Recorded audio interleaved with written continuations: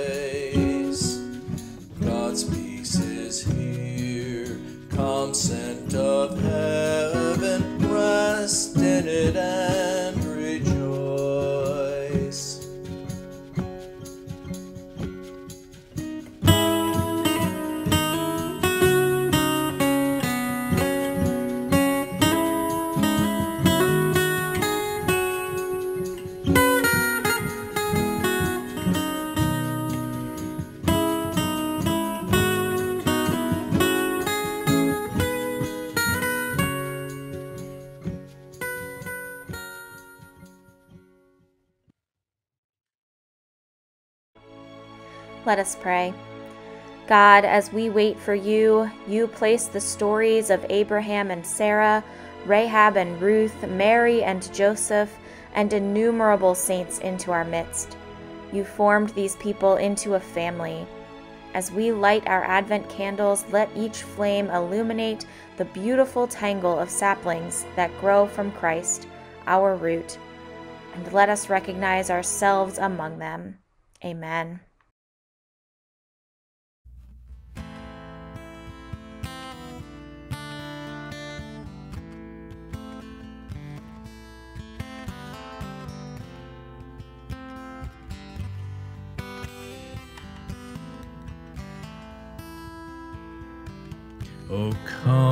Come, Emmanuel, and ransom captive Israel that mourns in lonely exile here. till the Son of God appears. Rejoice, rejoice, Emmanuel shall come to you, O Israel.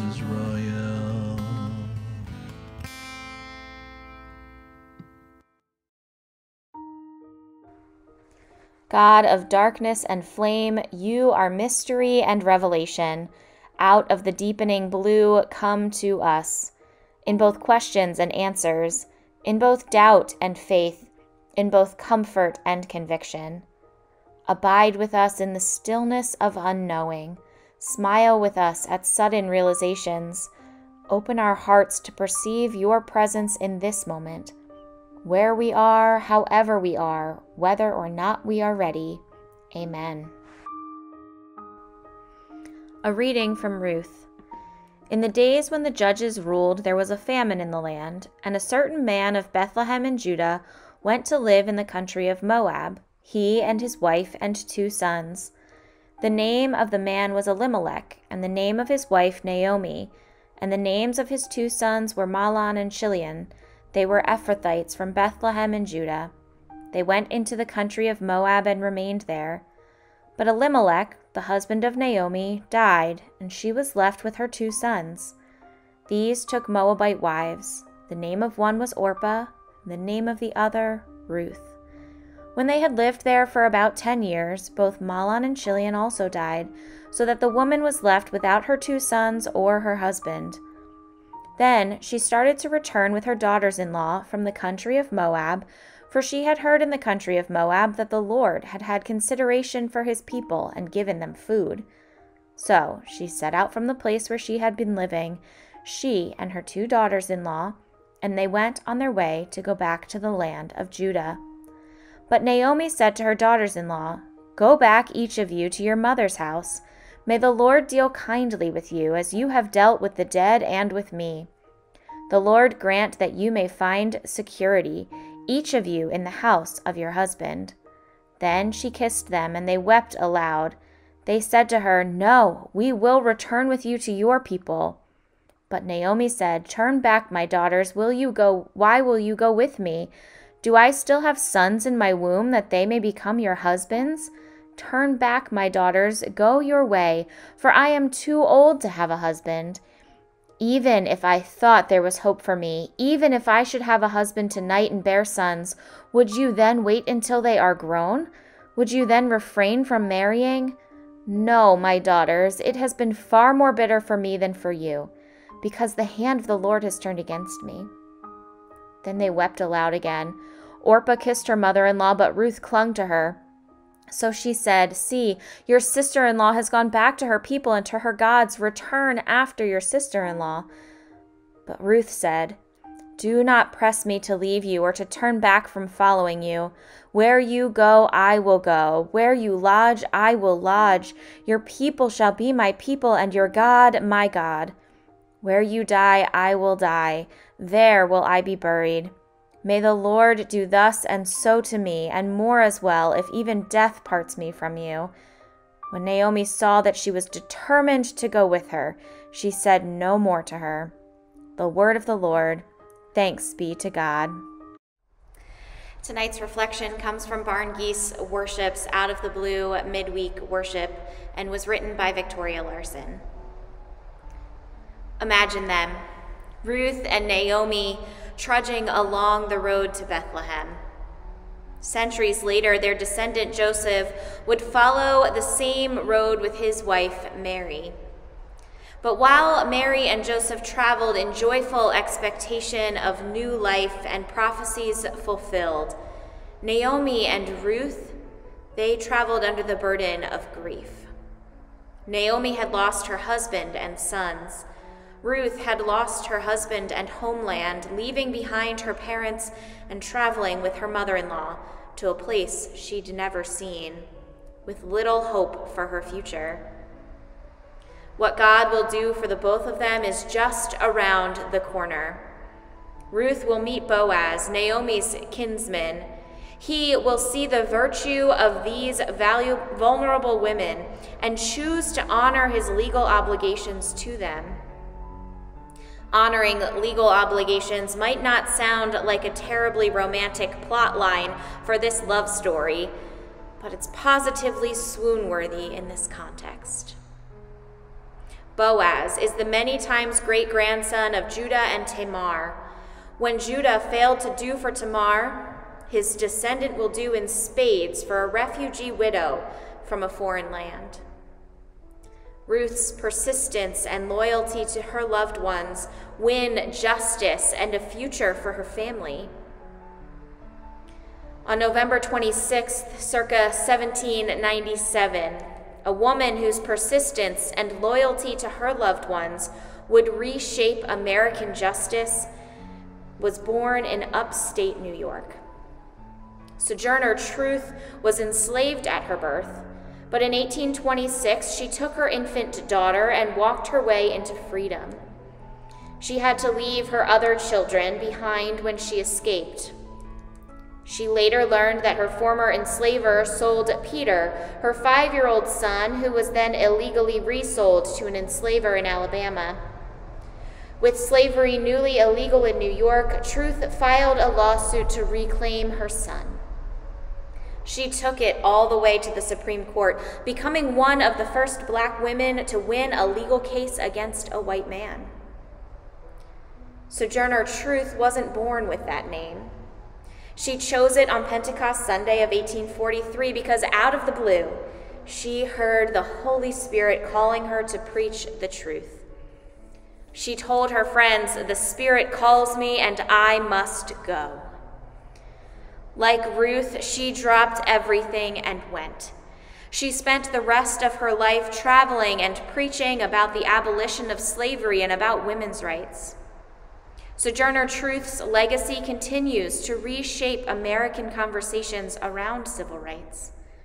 Consider June 27, 2016, when Bree Newsom drew the world's attention by climbing a flagpole at the South Carolina State House and taking down the Confederate flag.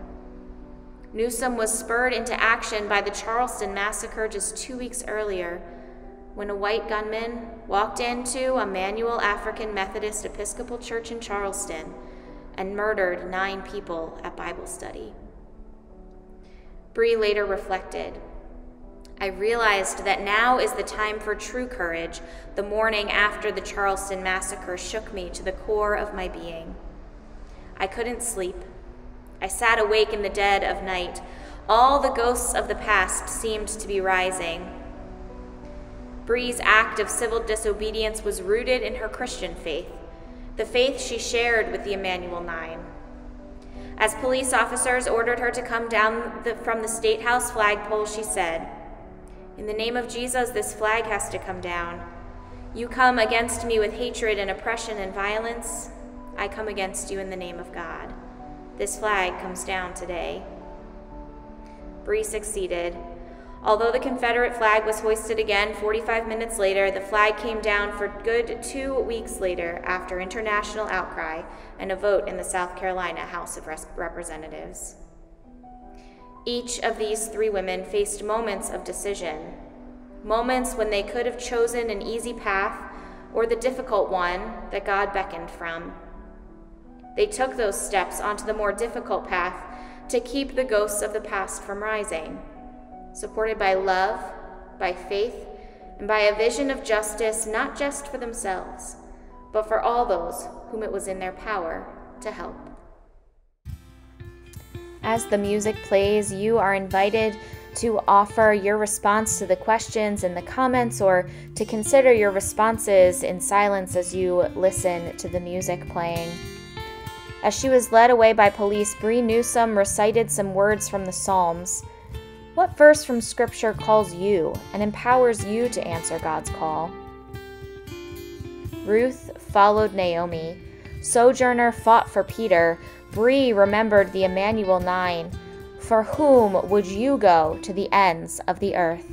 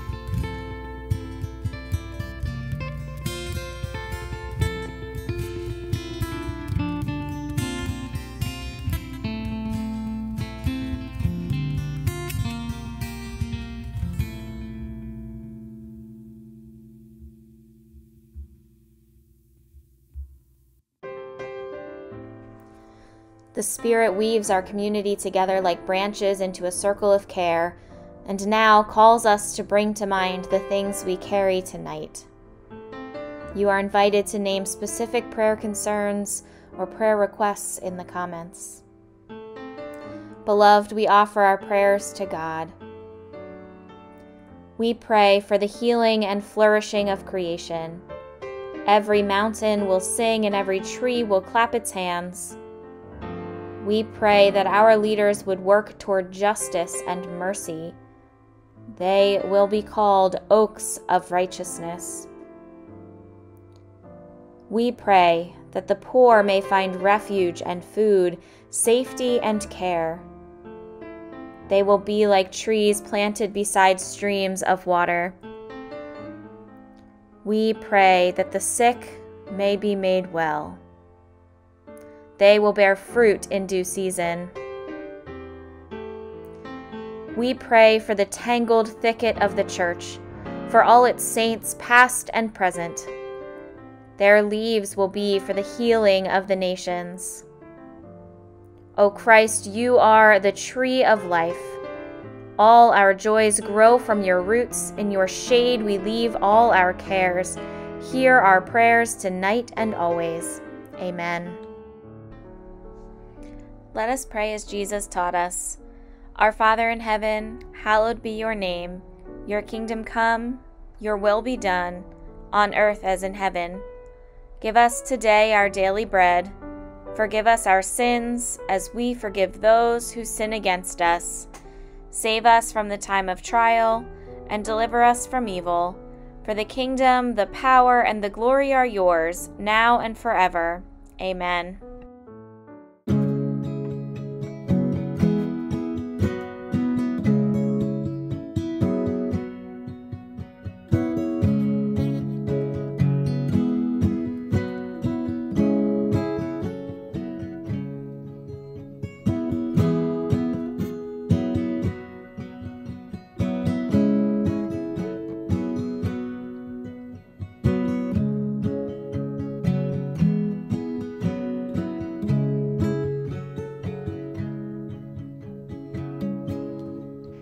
My soul proclaims your greatness, Lord. I sing my Savior's praise.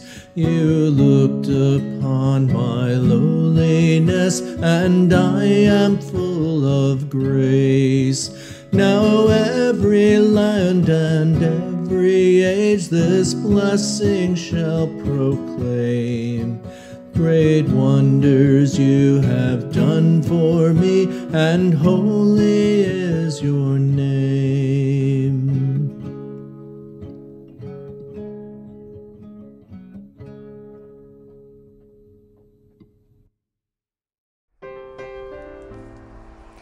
Beloved friends, you are saplings growing from the tree of life. May the deep rooted love of God anchor you. May the strength giving grace of Christ grow you, and may the bough shaking breath of the Spirit stir you. Amen.